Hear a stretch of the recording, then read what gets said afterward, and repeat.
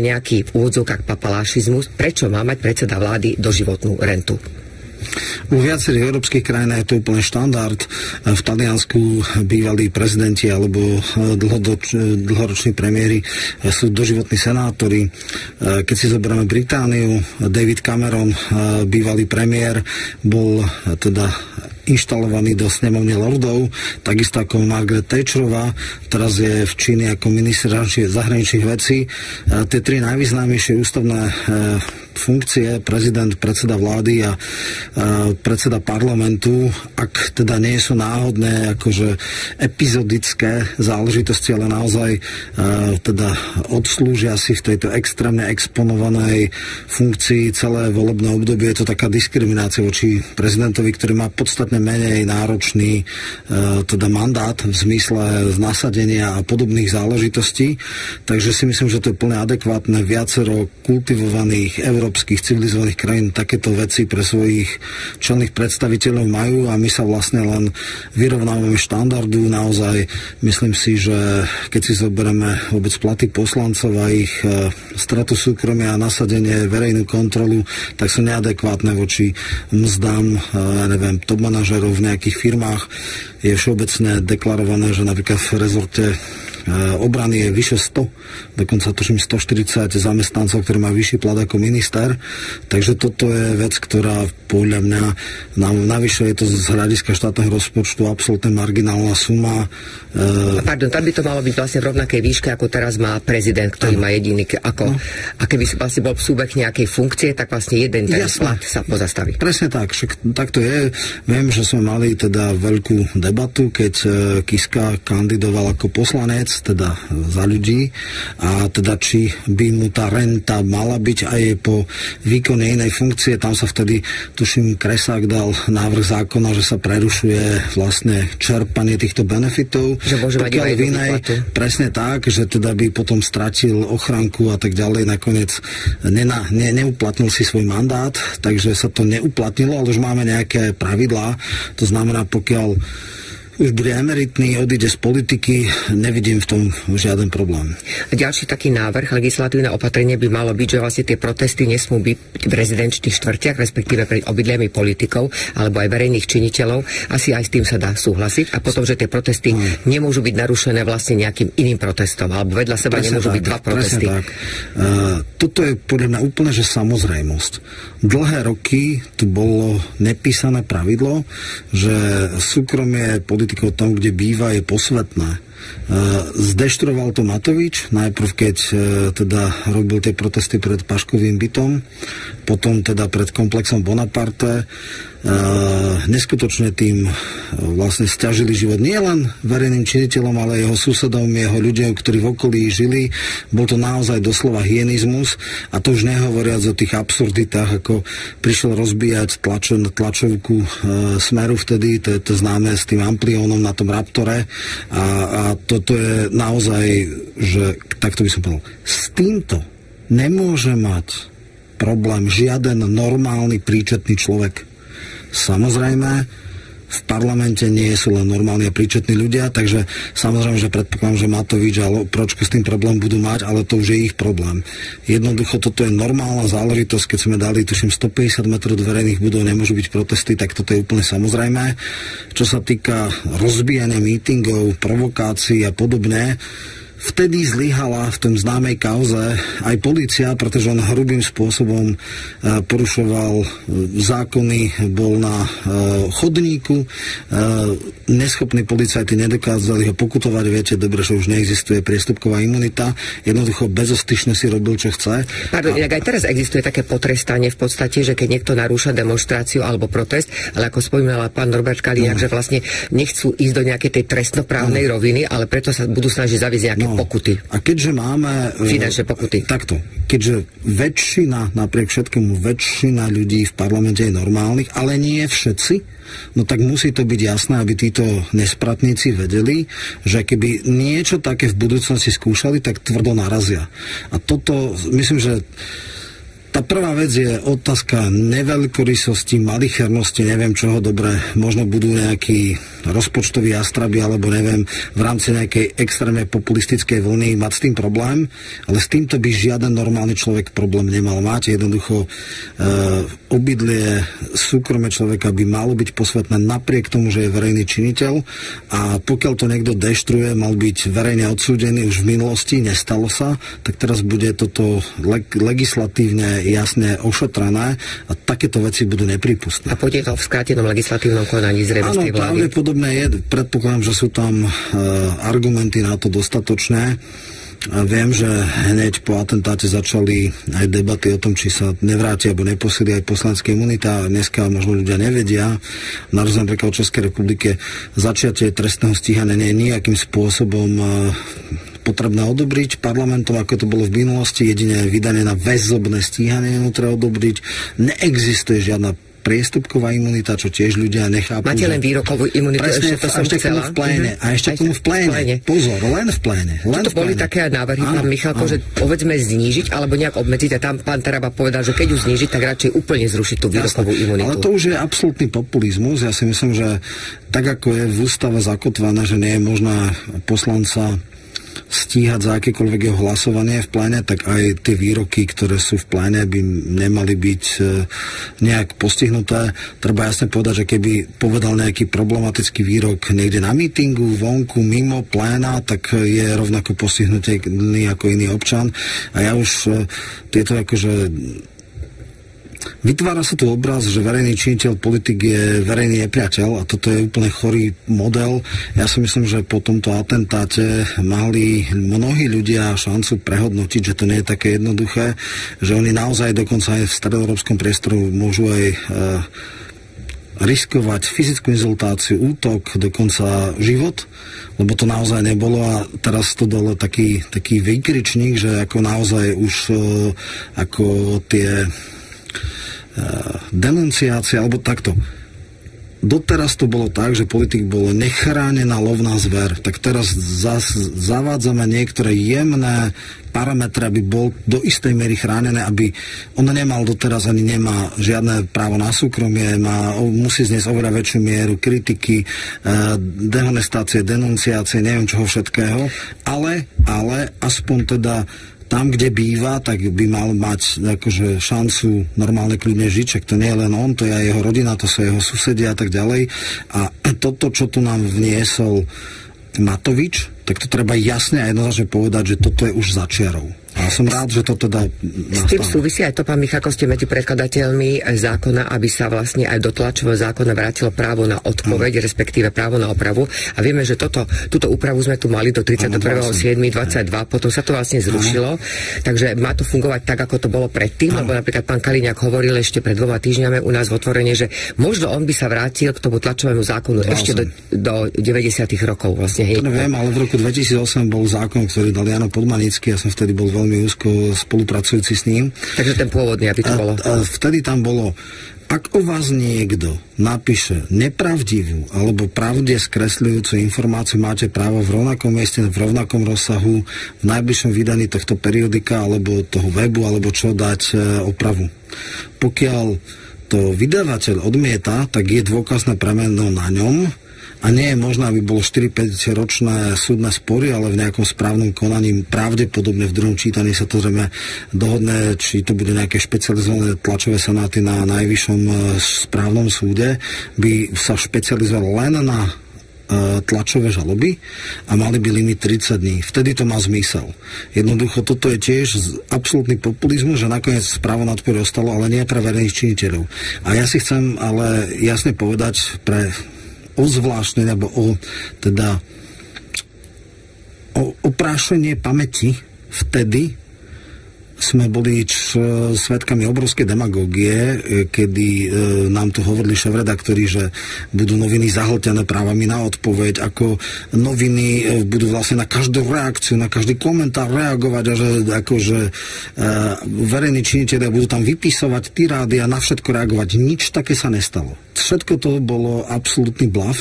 Jednoducho vtedy ešte raz pripomínam, kvôli tomu sa zablokovala ratifikácia Maastrichtskej zmluvy, teda Lisabonskej zmluvy, Lisabonskej zmluvy.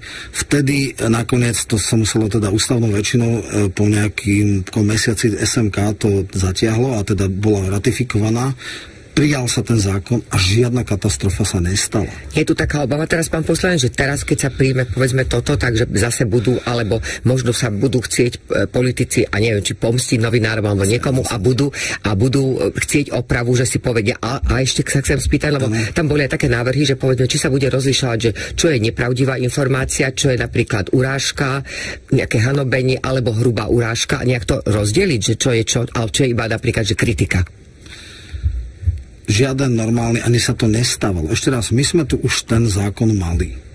Všetky výhrady, všetky katastrofické scenáre sa nenaplnili. Nebolo to tak, že na každý komentár dávali právo na odpoveď. Naozaj je to tam napísané a definované nepravdivá pra, alebo pravdu skresľujúca informácia. Názor nejakého komentátora nie je informácia. Keď Arpad Šoltes, Tkačenko, alebo hoci kto napíše o mne, že som prostoduchý, je to jeho názor, môžem s ním nesúhlasiť, ale nebudem kvôli tomu eh, žiadať opravu. Žiadať opravu ak eh, povie nejakú zjavne nepravdivú informáciu, ktorá ma môže poškodiť, no tak sa ohradím a poviem, že na základe čoho to tvrdíte, dôkazné bremeno je na vás a pokiaľ nie, tak sa okamžite ospravedlňte, lebo príde sankcia. Čiže to nie je na názor, na komentár, na pohľad, na hodnotenie, na vecný fakt. A keby napríklad neprišla tá oprava, tak potom už je nejaký ako podanie trestného oznámenia. Do 30 dní. Do 30, napríklad? Presne tak. To znamená, do 30 dní je dôkaz na bremeno na vydavateľovi, pokiaľ to ústojí, je to v poriadku. Pokiaľ príde a zdokladuje, že toto tvrdenie, stojím si za tom a mám na to také a také dôkazy, v poriadku. V tom prípade nie do čom pokiaľ to neustoje, príde sankcia. Dobre, poďme k tomu, že ste ten zákon o neziskovkách presunuli na septembrovú schôdzu. Prečo, pán poslanec, že aj koaliční partnery majú nejaké výhrady, alebo tam bola aj obava, že napríklad Maďari, keď prijali takýto zákon, tak súdny dvor im to zrušil a videli sme, čo sa dialo v Gruzínsku a už majú nejaké prvé sankcie. No, má to viacero rozmerov. Ten prvý a základný je, že my samozrejme sme ochotní ísť k nejakým kompromisom. Tie kompromisy môžu byť nejaké parametrické, že teda nemusíme trvať na sume 5000 eur, ale môže byť 20-25 tisíc a podobné. Čo ale zásadné je, že my trváme na tom, aby tie organizácie boli označené, že sú príjimatelia zahraničnej pomoci a ešte toto vieme, povedzme... Nie je zahraničí agent? To nikdy nebolo. To nikdy Organizácia nebolo. so zahraničnou pomocou. To áno, tam bolo áno, definované. Áno, a čo nie je vôbec agent. Hej? To je neutrálny pojem. Len samozrejme sú niektoré organizácie, ktoré netušia, že sú masívne podporované. E, tá diskusia ide o tom, že podľa niektorých koaličných partnerov stačí transparentný účet, ale to je oveľa náročnejšie preklikávať a pozerať si e, teda štruktúru dotácií. A v podstate nám nejde o to urobiť nejaký zákon, aby sme mali čiarku. Naši voliči od nás očakávajú, že, pre, že dáme zákon, kde bude jasné, ak sú nejakým relevantným spôsobom, a je teraz diskusia, že 5 tisíc možno nie je relevantný, ale 25 alebo 30 tisíc už je relevantná pomoc, aby boli jasne deklarovaní. V prípade neviem, športových alebo vylože kultúrnych, teda nie tí democracy maker, ale, ale teda nepolitických mimovládok, uh, že teda oni by nemuseli byť, ja neviem, futbalový zväz a tak, aj keď podľa mňa nie je žiaden problém, keď bol aj futbalový zväz, však v poriadku dostáva z FIFA alebo z UEFA nejaké prostriedky. Uh, len tam je problém, keď 95% činnosti je politika a 5% je šport, takže toto sú vlastne veci, ktoré sa budú cizelovať. Teraz máme 3 mesiace na to, aby sa našiel nejaký konsenzus. Nebudeme za každú cenu trvať na zákone, ak má byť úplne vykastrovaný. Pre nás je zatiaľ nepriateľné, aby to označovanie vypadlo. Pokiaľ to tam dáme, tak sa vieme na nejakých ďalších parametroch. Nestačí nám zatiaľ, je to tak, že nám nestačia, že musia mať transparentné účty, lebo to, to jednoducho málo kto príde a začne si investigatívne vyhľadávať a tak. Takže to nestačí SNS a uvidíte, budete rokovať s koalíciou počas presne leta. Tak, presne no a tak. prečo vlastne sa a koalícia ide dohodnúť na predsedovi parlamentu až po lete, lebo bolo, že po eurovoľbách teraz bude inaugurácia pána Pellegriniho. Uh, je tam naozaj, no, že... Vy, vy, nie je dohoda. Vy, no a vy stále teda trváte na tom, že mal by byť predsedom parlamentu pán Danko Dokonca nielen my. Smer, poč- ako to hovorí pán Fico, pán Kaliňák. Áno, a, no, a presne tak. A oni trvajú na tom, že to patrí tak. podľa koaličnej dohody hlasu. No, to je spor dvoch pohľadov. E, predpokladám, že keby SNS nemala podporu Smeru v tom, že argumentuje, že by to bolo pozitívne v zmysle stability koalície, tak by už tá debata nebola. Ale keďže pán premiér, pán minister vnútra a aj Tibor Gašpar zreplikovali to minister isté... Obrany, pardon, opravia, minister, minister obrany, áno, minister vnútra aj hlasu, áno. To, to, hej, hej, trvá na tom, že to patrí áno, áno, áno, áno, presne tak, tak sorry, opakujem sa. Minister, opravujem sa, minister obrany povedali viac menej to isté stanovisko a tým pádom je táto téma v hre. A čakáte, že ustúpi hlas? Viete čo, ja chápem, že toto je prvé také akože Lebo zásadné tak... rozhodnutie nového predsedu hlasu a chápem, že je v ťažkej pozícii a ja naozaj dneska vám neviem predikovať, ako to dopadne, či teda budú trvať. My sme samozrejme jasne povedali, že kvôli tomuto sa nerozpadne koalícia, že je to nejaký nárok, ktorý nie je osamotený, lebo dvaja koaliční partnery si myslia, že by to takto bolo dobré kvôli tomu, že vlastne Danko má podporu Smeru a členných predstaviteľov koalície, tak vlastne je to stále v hre. Prípadne čakáte, že pán premiér už bude na tom zdravotne lepšie a vráti sa na tú koaličnú radu a priamo budete rokovať? No ja som zaregistroval na tom vystúpení pred uh, eurovoľbami, že ohlásil, že na prelome júla a, a júna by mohol sa vrátiť. Čiže v priebehu leta už v nejakom nejakom štandarde, bude sa asi podieľať na, na politických procesoch, ale je to veľmi ťažko teda odhadnúť. Ja len hovorím to, čo on vravel a on tuším dal taký nejaký termín, že v júli by už mohol sa e, teda ako keby vrátiť, neviem ešte či naplno, ale už tak, že by bol viditeľný, počuteľný. Ešte vám môže koaličný partner hlas povedať, že však ani do Európskeho parlamentu ste ako SNS nepostúpili, takže nemáte nárok na nejaké požiadavky. To nemá s tým e, nič spoločné, pretože to nie je o európskych záležitostiach proste takisto môžeme povedať, že hlas išiel hlboko pod očakávaniami, rátali tri mandáty, mali jeden, takže ako toto si myslím, a to aj myslím, že odmietli, že toto nebudú argument. A vy to ako hodnotíte teda, že ne, e, nebola Jasné. možno aj chyba, uh, dodám to to, že povedzme ste mali, mali ste ponuku od republiky, aby ste urobili spoločnú Jasné. kandidátku. Viete, e, ten základný problém bol v tom, že nevyšiel nám e, model skladania kandidátky. Naozaj ľudia v exekutívnych funkciách, ktorí sú viditeľní a počuteľní a naši voliči e, si myslia, že by naozaj mali rozrobenú robotu dokončiť, tak neboli dostatočne dôveryhodní. Boli aj chyby, že nie všetci jasne jednoznačne deklarovali ochotnú ísť do Európskeho parlamentu. Nemali sme možno osobu, ktorá by sa dlhodobo a systematicky zaoberala európskou politikou a bola hlásateľom týchto agent plus samozrejme je to neúspech, je to hlboko pod našimi očakávaniami, to netreba nejakým spôsobom zakrývať. My musíme prejsť seba reflexiou aj čo sa týka, prečo tak toto dopadlo tento typ skladania kandidátky nie je v poriadku. Čo sa týka s republikou, oni použili náš model, e, to znamená polovicu dali verejne známych osobností mimo stranického spektra a asi polovica bolo straníkov. E, v preferenčných hlasoch to vyšlo veľmi podobne, akurát prví dvaja stranici sú výrazní, tak sa tam dostali. No a e, možno sme mohli urobiť podobný model, že dať nie aktívne v politike pôsobiace osobnosti, ale tiež to tak naskladať a nedať tam exponovať kvalifikovaných ľudí a tí by možno dokázali, tí, aby boli dôveryhodní, boli jasné, že oni naozaj chcú tam ísť. Jasné, robíme aj chyby, chceme sa z toho poučiť E, nemáme žiadne zľahčujúce veci, hľadáme príčiny a teda jasné, tak bolo to varovanie a budeme musieť prejsť seba reflexiu.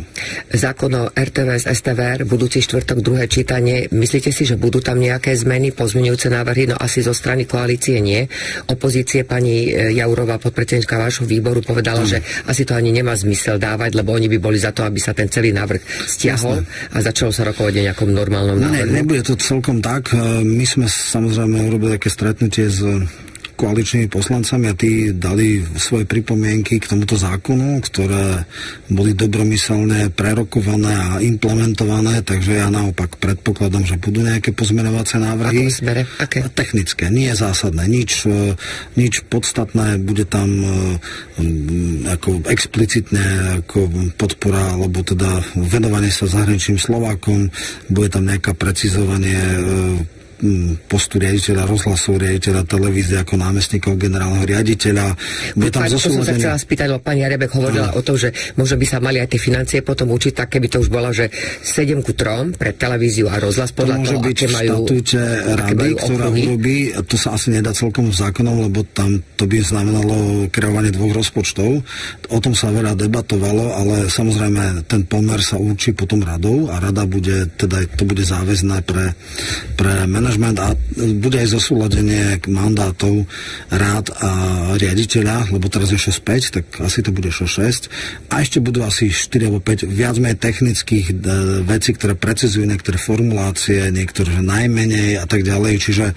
E, a súča- súčasní členovia rady RTVS budú môcť byť zase volení do novej rady Samozrejme, STVR? budú môcť. Predpokladám, že niektorí aj budú, akože sa teda znova prihlásia a plénom si ich osvojí, alebo možno niektorých aj ministerka. A kto ich bude vlastne navrhovať?